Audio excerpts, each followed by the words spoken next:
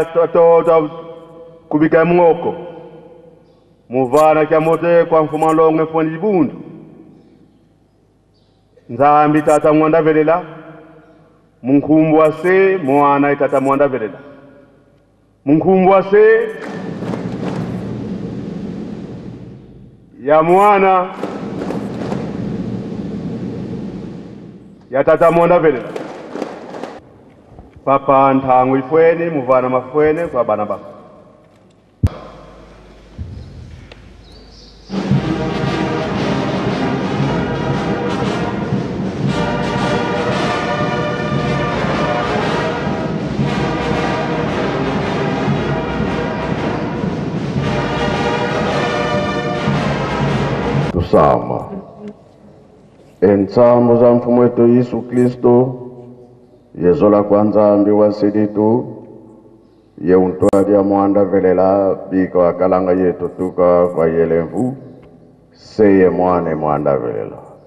Amen. Na kombo ya Tata, Muana pe Tata Molimo Santu. Tolandi mateyi na biso. Papa pasteur ateyi biso abandalaki na ba nzembo ya ba yuda ake na mibeko mikanda na ye ya suka toyoki tobomba tosalela po mokolo wana tobika toza na esengo mingi tolandi nionso oyo eleki awa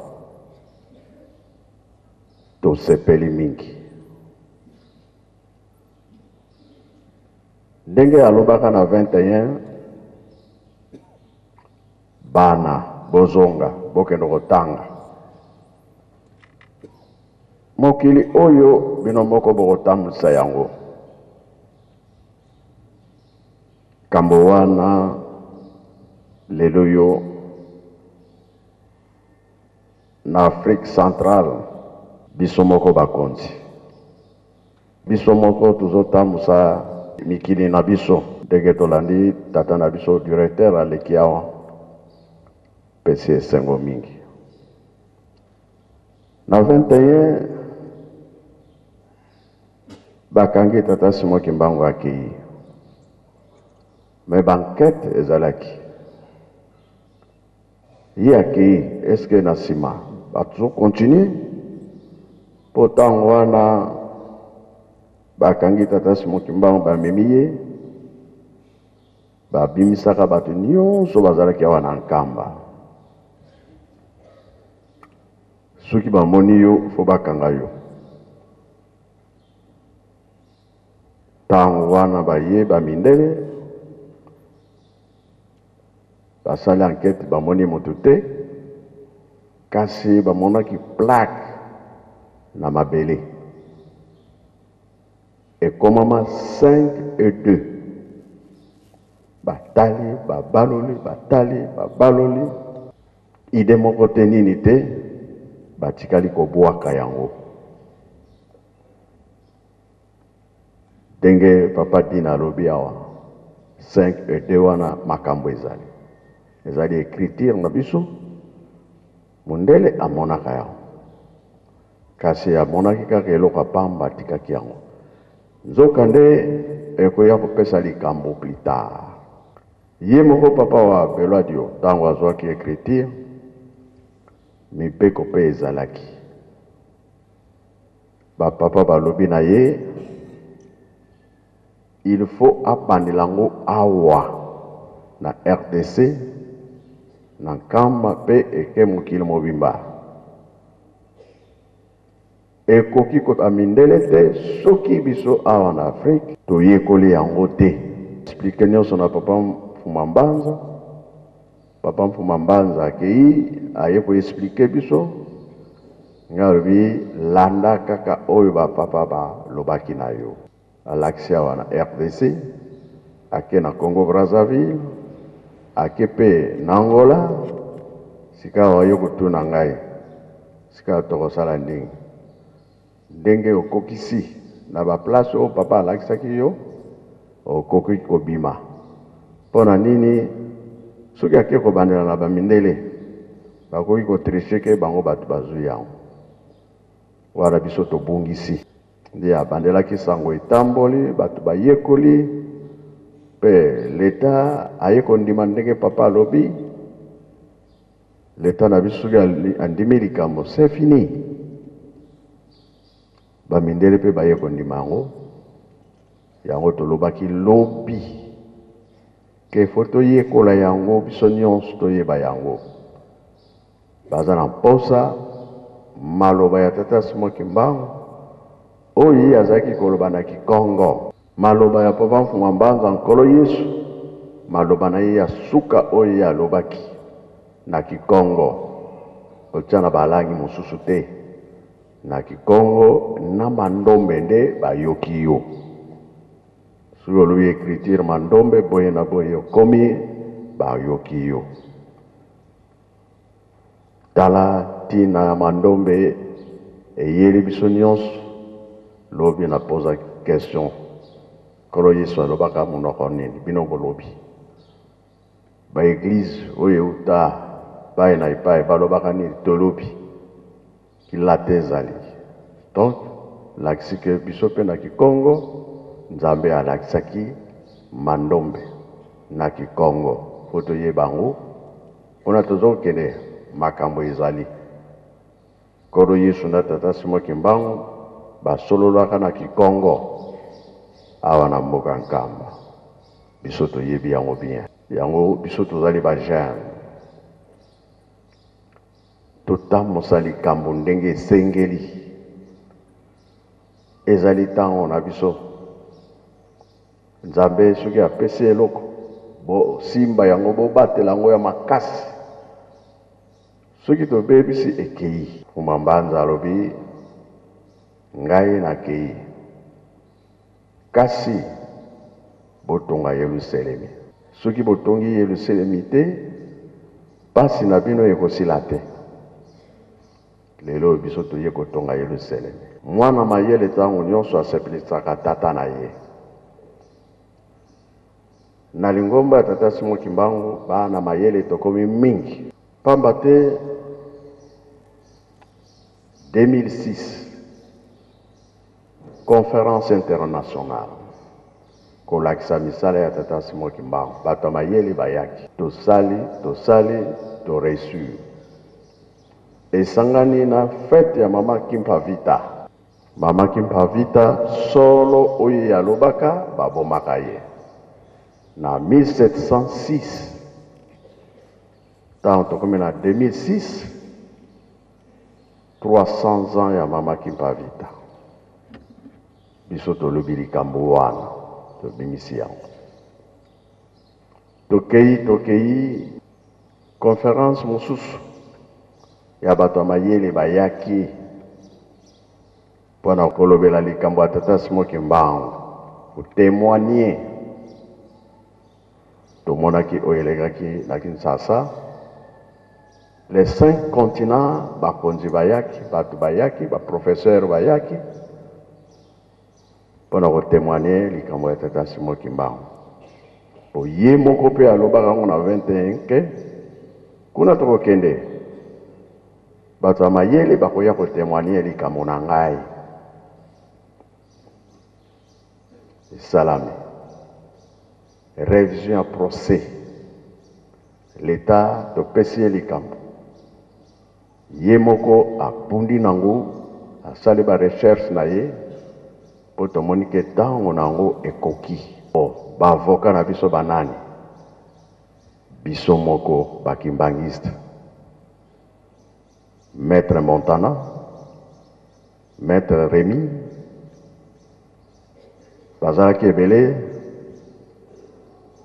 oyo bana ya ndaku. Bana ndaku ba telemini likambo wana presque bango nionso ba avocat na biso moko maitre bienveni na kanisa pe azali awa voilà azali bazalaki ebele na mama moko na kati maitre rita Babundi, babundi, babundi bana ya ndako. Bayebi ke bazo welela interet ya tata na bango. Kasi basengaki na bango mbongo te, balongi etumba. Tata Simon Kimbangu abimi na boloko. Na 2011, mpo na kolakisa na mokili ete likambo eza ya biso moko, biso moko mpe tokolobela yango, biso moko mpe tokobatela yango, tala mapamboli nini emonanaki na Mbanza Ngungu. Na tango makambo nionso esili, Sikoyo l'etat asali ba discours, l'etat abongisi likambo na ye, apesi ngai na likolo efungwami. Bilembo emonanaki kuna na likolo mpo na koloba que likambo na bino Nzambe ayambi yango, ezalaki bongo. Entre temps, bitumba ezalaki makasi. Ba mosusu kutu bazwaki ba avocats ya ba mindele mpo na nini bafuta pasi ya tata Simon Kimbangu 37000 familles mbongo. Ngai nalobaki te. Nga naza kowelela likambo moko eza na kati mbongo okolia ekosila mais likambo wana ekotikala libela nga nasengi mbongo te roi atunaki France azaki près Italie azaki près Allemagne azaki près Portugal azaki près Belgique azaki près Etats-Unis bazalaki presque bazalaki na programme ngai alobi te mbongo te naza koluka likambo mosusu na kati oyo ezali ke eza likambo ya nzambe soki tolongi nango nzambe akosepela mingi nga soki nasengaka mbongo nde tokweyaki te tobebisaki nde ba papa balingaki kosepela te oyo tolobaka ke tata Simon Kimbangu abimaka na boloko ye moko oui leta ntango wana abimisaki ye te na 51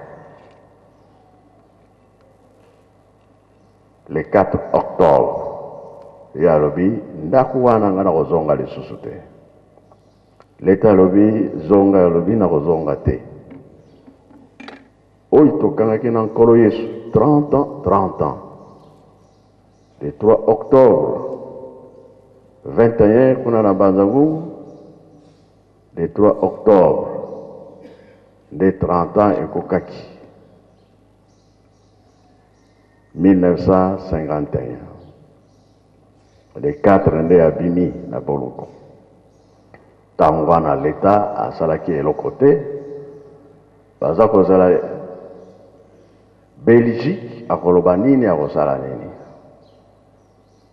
me balobaki makambo te ta simon kimbangu bakotala yango après 50 ans Yango tango tokomaki na 50 ans na 2001 biso tolobi tata Simon Kimbangu molimo mosantu le 12 octobre kozonga ya tata Mfumba Mbanza akei atiki biso biso totikali kobimisa ke tata Simon Kimbangu molimo santu papa Dialungana nkolo Yesu Muana mayele tozala bana mayele faut defendre eglise kimbanguiste lingomba na yo loposo muindu bayaki pona kobikisa biso kolongola biso na bowumbu yango tozotonga yeluselemi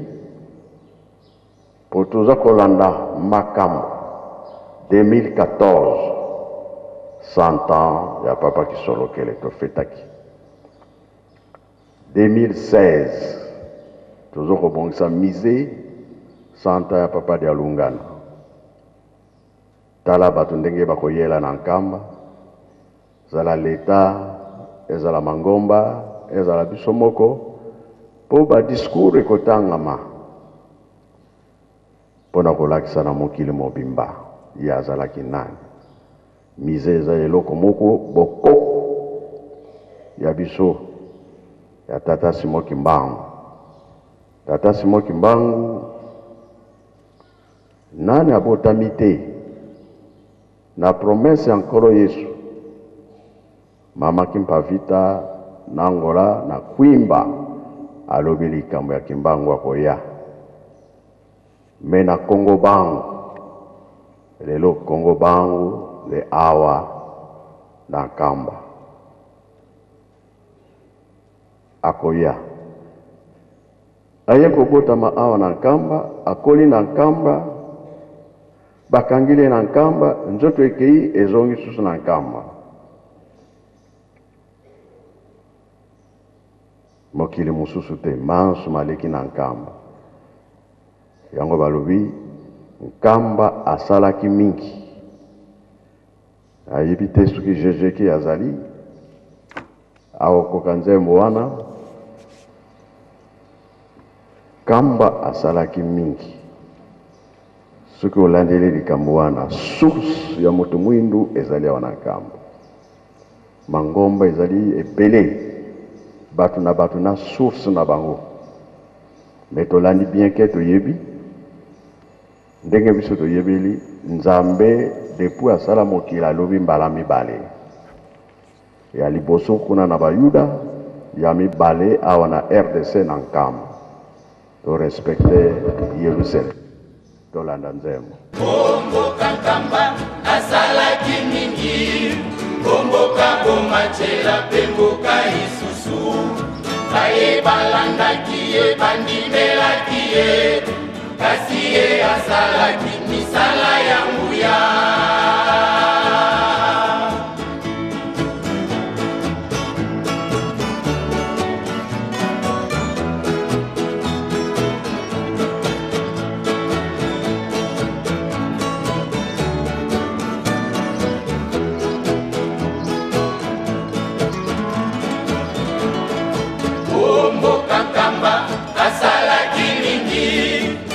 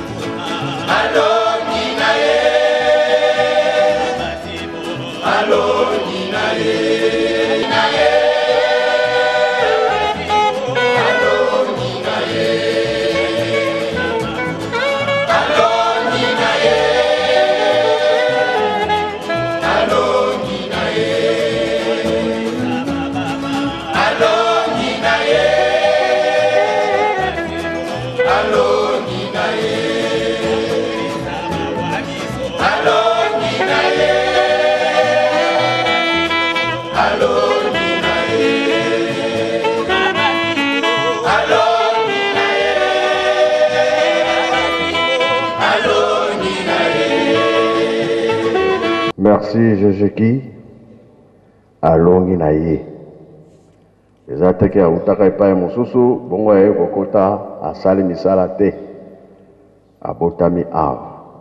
Akoli awa. Abandi mosala awa. Baye kokangela ye awa na mboka na ye. Ndenge Nkolo Yesu alobi, Zonga na mboka na yo, mokonzi bakangelaka ye na mboka na ye.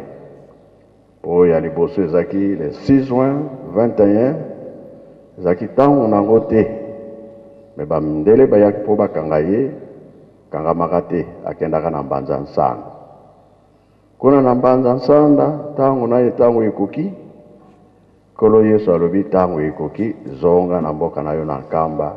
Ntango ya kokangama ekoki, mokonzi bakangelaka ye na mboka na ye. Aye, soda alandi nga, batindi nga, convocation ezali awa, naye kokanga yo. Alobi, Kima na yo. Soda alobi, Kima. Nalobi, Ye alobi, Te, nayelaki wana, il faut nakangama, nakokima te. Donc elakisi ke bayokanaki na nkolo. Eza likambo ya yo moko to bongisa yango loposo muindu tango ekoki. Lelo soki oluki nzoto ya tata Simon kimbangu eza wapi ezala muana muke ake ko lakisa yo ke yango wana. Bo nzoto ya mama muilu yango wana bongo ya papa kisolokele yango wana. Bongo ya papa dialungana eza wana bongo ya papa diangienda eza wana donc libela libela yango toyembaki nzembo fongola ya bomengo ezali awa na mboka nkamba devoir totonga yeluselemi Ndenge tolobaka lisese Nkolo Yesu aloba yango. Tata moko alona nzete. Nzete wana eza na nkasa na lopango. Tata wana aloba na mwasi na ye te boye, aloba te na bana na ye boye, bamoni kaka nzete eza kokola. Evandi wana. Tata wana akufi, bato baye na matanga, oyo bayebi valeur ya nzete wana balobaki eloko te, bamoni kaka, ah, nzete yango oyo ezali awa, esili. Matanga esili ba panzani moko moko sikoyo aza koya epai ya bana ah naye awa bosalisa nga bopesa nga kaka nkasa ya nzete oyo oh zwa nayo biso toyebi pe tina nango te mutu nionso aye oh bana batuni pona nini bino nionso boyaka kosenga nzete oyo. Bato wana balobi, Ee, nzete yango ebikisaka. Ebikisaka. Mai lokola nzete, bayebaki eloko moko te. Tata aka moto ayebaki secret ya nzete wana. Lelo oyo biso Yeluselemi yango oyo. Toyebi secret ya yeluselemi simba likambo wana eza ya yo tosimba yango makasi po soki tolongi nzambe asepeli biso tozui mapamboli na kombo ya tata muana pe tata molimo santu amen.